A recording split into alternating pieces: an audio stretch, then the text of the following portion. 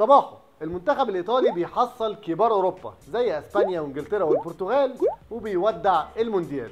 بعد اختيارات جبانة من المدرب الإيطالي وقرارات عجيبة من الحكم المكسيكي وتصرفات آه، عضاضه من المهاجم الاوروجواني بس قبل ما نخش في تفاصيل الماتش تعالوا نروح ونبدأ كالعادة بشوية أخبار على الطاير.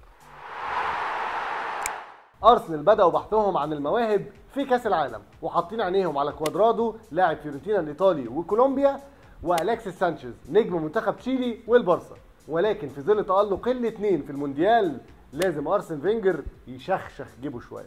ريال مدريد بقوا مريبين قوي من ضم المهاجم الكولومبي راداميل فالكاو وفلورنتينو بيريز مستعد يدفع رقم محترم عشان يضمن خدمات اللاعب بالرغم من إنه ما لعبش ماتش واحد من شهور. من ساعة إصابته بقطع في الرباط الصليبي مع موناكو الفرنسي. الناحية التانية برشلونة قربوا من اتفاق مع ليفربول بخصوص لويس سواريز بس لازم رئيس البارسا بارتوميو يكون متأكد إن عقد لويزيتو هيكون شامل مدرب للتدريبات الخاصة أو على الأقل حتة بلاستيك علشان تحميه من الغرائز اللي عنده. المنتخب الأسباني بعد ما صعق بخماسية من هولندا وثنائية من تشيلي المرة دي بيصعق بجد بعد ما طائرة الخطوط الأيبيرية اتضربت بصاعقة برقية وعلى متنها اللعيبة الأسبانية أثناء هبوطها في أسبانيا.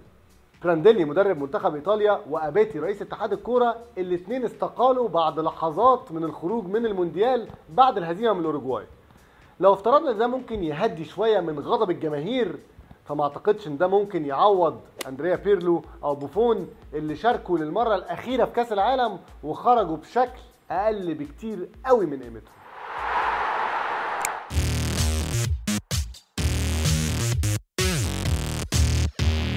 لما المدرب يكون جريء بيخاطر بذكاء وبيحاول إنه يكسب فلازم يتقال له هارد لك وشابو ولكن لما المدرب يكون سلبي في اختياراته جبان في قراراته وما بيتعلمش من أخطائه فلازم يتقال له مع السلامة ويتكسر وراه قلة. من الآخر كده مش عايز اسمع الكلام المحفوظ وكلام الجرايد ان ايطاليا نزلت تلعب على التعادل وعشان كده خسرت. لأن برانديلي بدأ المباراة ب 3 5 2 الخطة الأنجح في مسيرته مع الأزوري. وكان بيلعب باثنين striker صراح بالوتيلي وإيموبيلي وبالرغم من إن الأداء كان عقيم في الشوط الأول فأداء الأوروجواي هو كمان كان عقيم. وبما إن التعادل في مصلحة إيطاليا فمش من الذكاء إنك تندفع هجوميا وتسيب مساحات ورا الاوروجواي يستغلوها وتحل لهم بيها عقمهم الهجومي. الكوارث كلها بقى بدأت في الشوط الثاني. اولا قرار تبديل بالوتيلي وتضييع عليه تغيير علشان خايف إنه يطرد مشكلة يتحمل مسؤوليتها برانديلي لأن العالم كله عارف أخلاق وتصرفات بالوتيلي وبالرغم من ده انت اللي اخترته يكون مهاجمك الأساسي وتبني عليه كل خطتك الهجومية. الكارثة الثانية إنك لما تقرر إنك تخرج بالوتيلي فلازم تنزل بداله مهاجم. يا إما إنسيني يا إما تشيرش اللي متعود أصلا يلعب جنب إيموبيلي في تورينو. ولكن لما تقرر إن أنت تنزل بارولو في نص الملعب وتغير الخطة ل 5 4 1 مع إنك مش بتعاني دفاعيا من أصله فده معناه إنك خفت وبدون أي داعي قررت إن أنت تدافع والنتيجة مش مضمونة. الكارثة الكبيرة بقى هو قرار إشراك أنطونيو كاسانو. لما يكون مطرود منك لعيب وعايز تبدل إيموبيلي مستحيل تكون بكامل قواك العقلية لما اختيارك يقع على كاسانو. اولا فكاسانو هيخدم على مين وأنت ما عندكش مهاجمين من أساسه. ثانيا لو هتعتمد إن هو هيمسك كورة في نص ملعب الخصم فكاسانو ضعيف بدنيا ومش هيقدر. ثالثا كاسانو بطيء ومش هيقدر إن هو يساعدك في سرعة أي هجمة مرتدة.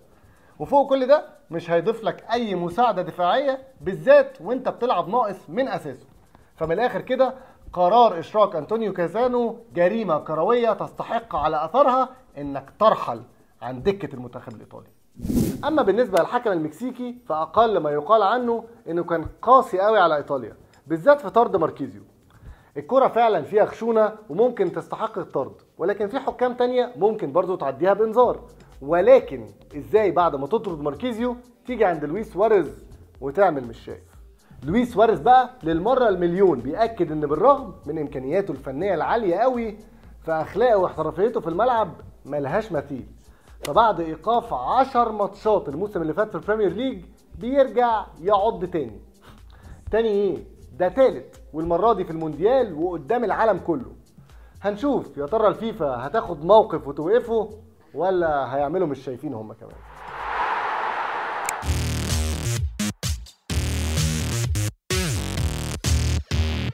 منتخب اليونان استفاق من حيث لا يدري أحد وقدر إن هو يتأهل الدور الثاني عشان يلاعب كوستاريكا وهم مسجلين هدفين بس من ثلاث ماتشات. فبعد ما تقدموا على الكوتيفوار 1-0 جابوا ثلاث كور في العارضة وقدروا إن هم يجيبوا هدف الفوز في اللحظات الأخيرة. وكل ده بقيادة ساماراس اللي تقمص دور راسل كرو وتحول لأقوى لاعب في العالم وعمل كل حاجة في الكورة. أما الكوتيفوار فبيحصلوا الكاميرون وبيأكدوا إن اللاعبين الأفارقة كفرديين عندهم إمكانيات وتقنيات عالية جدا ولكن كمجموعة فرقة واحدة قمة في العشوائية. فممكن النهارده يكسبوا البرازيل ويجوا بعدها بيومين يخسروا من غزل المحله منتخب كولومبيا بيكشر عن أنيابه وبيسحق الساموراي الياباني برباعية. بقيادة جيمس رودريجيز واحد من أجمل وأحلى اللعيبة في المونديال. والجول الرابع اللي جابه بيقول كل الكلام. وفي نفس الوقت الماتش شهد لحظة مؤثرة جدا وهي لحظة نزول حارس المرمى موندراجون في الشوط الثاني علشان يضرب الرقم القياسي كأكبر لاعب بيشارك في تاريخ كأس العالم ويحطم رقم الكاميروني روجيمي.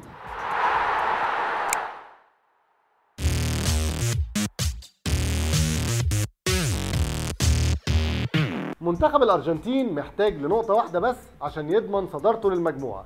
أما منتخب نيجيريا فهو كمان محتاج لنقطة واحدة بس علشان يضمن تأهله للدور الثاني بغض النظر عن نتيجة المباراة الثانية. الأنظار كلها هتكون مسلطة على المدرب الأرجنتيني سابيلا اللي بالرغم من إنه كسب أول ماتشين إلا إنه ما أقنعش لا بالأداء ولا بالتكتيك. وفي كل مرة ليونيل ميسي هو اللي بينقذه أما منتخب نيجيريا فهيلعب بال 4 2 3 1 اللي لعب بيها في ماتش إيران.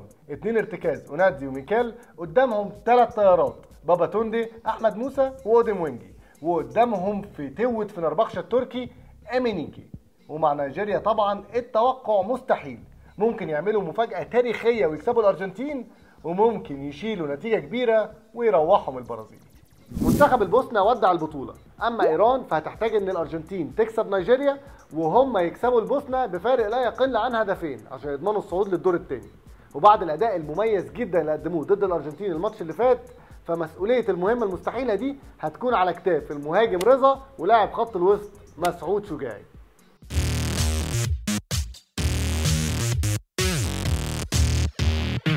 بعد هولندا منتخب فرنسا هو أكتر فريق أوروبي مقنع لغاية دلوقتي. ديديه ديشامب بيعتمد على 4 3 3 وتوازن ما بين الهجوم بقيادة ثلاثي بنزيما فالبوينا وجيرو والدفاع بقيادة ثلاثي خط النص بوجبا ماتويدي وكاباي اللي بيدوا الحماية اللازمة للظهيرين والمساعدة الكافية في الدفاع والحرية التامة للثلاثي اللي قدام.